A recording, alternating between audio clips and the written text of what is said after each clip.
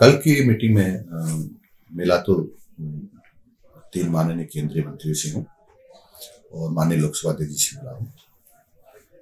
दो माननीय केंद्रीय मंत्रियों से मेरी डिपार्टमेंट के बारे में बातचीत हुई।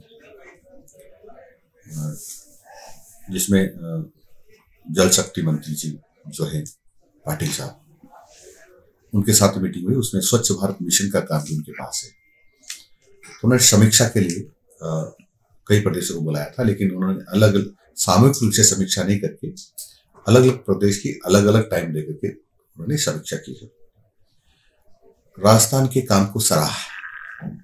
उनका कि जहाँ पर जब सरकार में आप आए थे, तब हम बहुत नीचे थे स्वच्छ, स्वच्छता में।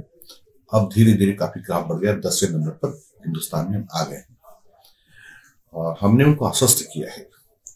कि हमारी कोशिश रहेगी। कि आने वाला एक वर्ष जब पूरा करेंगे हम तो राजस्थान में हम हमारा प्रथम स्थान होगा शिक्षा स्वच्छता। में। और ऐसा प्रयास कर रहे हैं। हमने दो तीन उन तो उनसे अनुमति भी मांगी है कि हमको क्योंकि जो डिस्पोजल आइटम्स जो भोजन करते हैं यूज़ करते हैं गिलास है पत्तल है डोना है। इसमें भी पॉलीथीन की एक लेयर होती है। और इसके खाने से भी जानवर मरते हैं, जल, जला देते तो जहरीली गैसें निकलती है। उससे लोगों को बहुत नुकसान होता है। तो इसमें आप हमारी इस पर सहायता करें कि बर्तन भंडार बन जाए। हर गाँव में बर्तन भंडार बन जाए, ताकि जब भी किसी के सामूहिक कार्यक्रम हो तो वहाँ से बर्तन ले जाया सके। अभी भी बर्तन भंडार है हर गाँव लेकिन वो केवल भोजन बनाने के हैं, भोजन करने के नहीं है। तो हम चाहते भोजन करने के जो पात्र होते हैं, उनका भंडार हो जाए। तो ये जो डिस्पोजल आइटम से हमारा छुटकारा छूट सकता है। उनका, आपकी सोच बहुत बढ़िया है, इस पर आगे काम करना चाहिए। हम जितना सहयोग कर सकते हैं, आपको करेंगे। और उन्होंने यहाँ तक कहा कि हम सी के लोगों को भी इस तरह, इधर मोड़ने का हमारा प्रयास रहेगा। जानवर है। उसमें प्रमुख गोमाता है। हालाँकि वो जानवर नहीं, वो गोमाता है। ये और अन्य जानवर, गोमाता और अन्य जानवर। जो घूमते फिरते हैं, कहीं बैठते हैं, जिसके कारण से कई जगह गंदगी होती है। और ये मैंने देखा है कि अधिकतर बरसात के समय तो रोडों पर, सड़क पर ज़्यादा ही बैठते हैं। उसके कारण से एक्सीडेंट बहुत होते हैं। एक्सीडेंट बहुत होते तो मेरा अनुमान है, कहीं मैंने सुना नहीं नहीं पढ़ा है कि कम से कम एक हज़ार लोग तो कम से कम राजस्थान में गौ से जानवरों से के कारण दुर्घटनाग्रस्त होने से मर जाते हैं। मर जाते हैं। तो इसको पुरानी परंपरा हमारी थी कि सारे गाँव के पशुओं को चराने के लिए एक ग्वाला नियुक्त किया जाता था और उसको हर घर से उनको निश्चित अनाज होता था। पचास किलो एक साल का या एक क्विंटल एक साल का, और उस पर साल भर उसको चलाता था। सुबह ले जाते शाम को वापस आते थे। तो उसके कारण से वो अभी जब हो जाएगा, इस परंपरा को जीवित कर देंगे।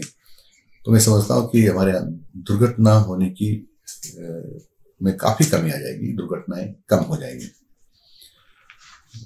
दूसरा जो घायल होते हैं, उसके कारण से पशुपालक का नुकसान भी होता है। तो फिर अस्पताल पशु चिकित्सक भी दौड़ के जाना पड़ता है, उसके नुकसान भी होते हैं। कई सारा खर्चा होता है। फिर जो आदमी मरता है या एक्सीडेंट होता है, वो भी अस्पताल में जाता है। तो कई सारे खर्चे, उन खर्चों से भी निजात मिलेगी। वो खर्चे कोई लाखों में नहीं, वो करोड़ों में होते हैं। तो हम गौ माता को भी बचा पाएँगे। गौ माता को बचा पाएँगे तो हम इस देश को बचा पाएँगे। उन्होंने पूछा कैसे? मैंने गौ माता ज़िंदा रहेगी। तो हमारी ज़मीन धरती माता की मिट्टी है। जो रसायन खाद डालते पेस्टिसाइड डालते पेस्टिसाइड डालते डालते, जिसकी उर्वरा शक्ति कमज़ोर हो गई है। वो गौ माता होगी तो गोबर जब जाएगा वहाँ, उसके कारण से उर्वरा शक्ति उसकी बढ़ेगी। क्योंकि जैविक खेती की बढ़ने की, जैविक खेती की तरफ़ बढ़ने के लिए सब लोग अग्रसर हो रहे हैं तो उनको इसमें सहायता मिल सकती है। और यदि गोमाता नहीं होगी तो उर्वरा शक्ति की, का स्वास्थ्य ठीक नहीं होगा। उर्वरा ज़मीन जो है हमारी, खेती की ज़मीन है, मिट्टी है, उसका स्वास्थ्य ठीक नहीं है।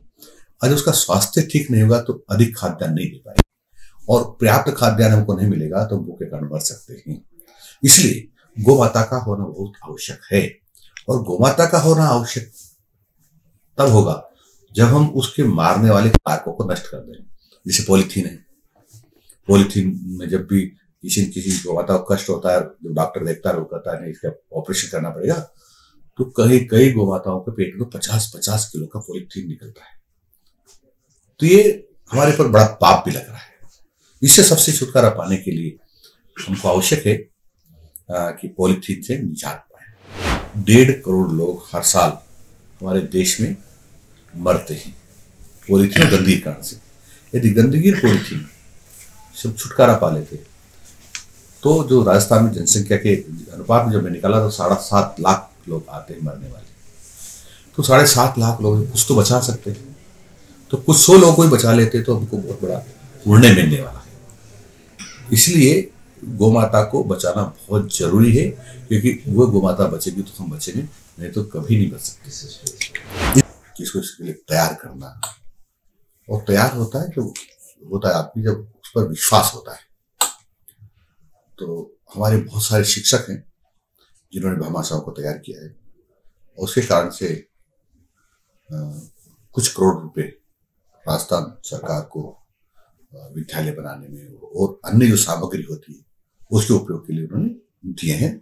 और ये क्रम लगातार जारी है। मैं भी इसी हेतु से बम्बई गया था। वहाँ लगभग मुझे डेढ़ सौ करोड़ रुपए तक उन्होंने तुरंत मेरे को कहा था पर उसके बाद जो एमओयू हुए में प्रेरित होकर बाद में संपर्क करते रहे शिक्षा के लिए लगभग बारह हज़ार करोड़ रुपए के एमओयू हुए हैं। मैं भी कलकत्ता गया था लगभग दो सौ करोड़ रुपए तक का तत्काल उन्होंने मेरे को वहाँ किया है। और एक एक, एक व्यक्ति ने तो सौ करोड़ रुपए